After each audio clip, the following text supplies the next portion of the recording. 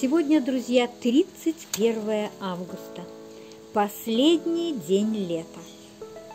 Лето у нас было очень сухим и очень жарким. За все лето, ну, или два, или три дождика только было. И температура выше 30 почти все время держалась. До 37 доходила в тени. А на солнце, естественно, под 45. Поэтому, ну, что выросло в саду, то и есть. Конечно, я и этому рада. Цветы бедненькие стоят, поэтому их не буду показывать. Ну, а вот что в саду есть, вот это боярышник, ягодами усыпан. Они еще только начинают э, зреть, поэтому еще э, чуть-чуть только красное.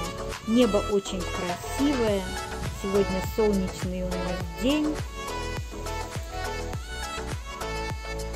Кроме боярышника у меня есть яблоки, груши, немножко черной рябины, орехи грецкие есть. Ну вот что есть, то я сегодня вам покажу. И будем радоваться тому, что есть. И ожидать золотую осень. Она тоже приносит свои плоды. Будем рады и ей. Потом зима, Новый год, а потом снова будем ждать лета.